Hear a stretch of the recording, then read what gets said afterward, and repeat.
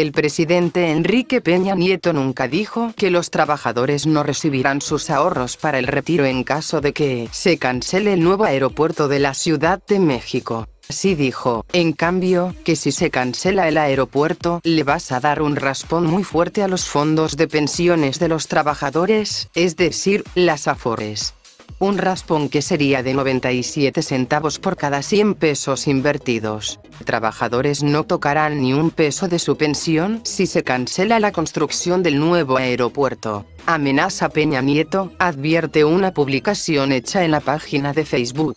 No más PRI, que ha sido compartida casi 1300 veces. La declaración falsa supuestamente se hizo en respuesta a la promesa de campaña del candidato de Morena, Andrés Manuel López Obrador, de suspender la obra y habría ocurrido en el foro Impulsando a México, en octubre de 2017. Verificado 2018 revisó el video original de la presentación de Peña Nieto durante el foro y durante su participación dijo, el proyecto del aeropuerto está construido al amparo de un diseño institucional y está anclado sobre elementos financieros y de mercado que, de suspenderlo, tendría un altísimo costo para el país y un altísimo costo para quienes han invertido los fondos de pensiones que tienen resguardado el dinero de los trabajadores, están invertidos en el aeropuerto.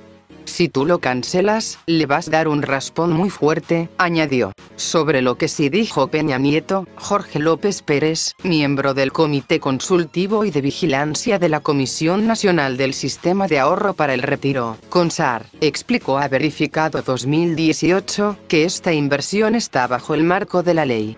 El porcentaje de lo que invirtieron es menor al 1% del total de las afores señaladas, es decir, es una apuesta a largo plazo que tiene cierto riesgo, pero con una promesa de rendimiento buena.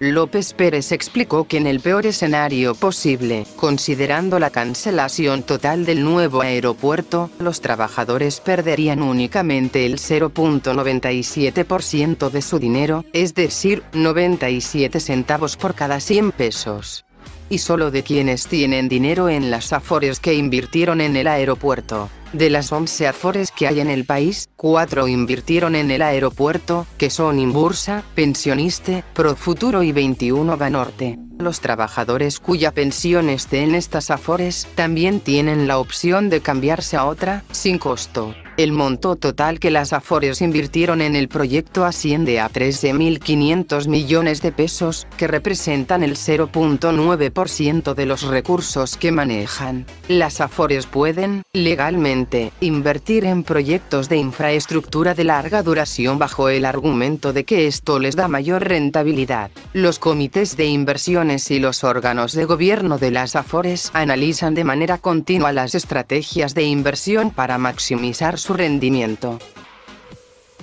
Gracias a Verificado 2018 podemos conocer la verdad sobre las noticias nacionales. Les agradezco su atención.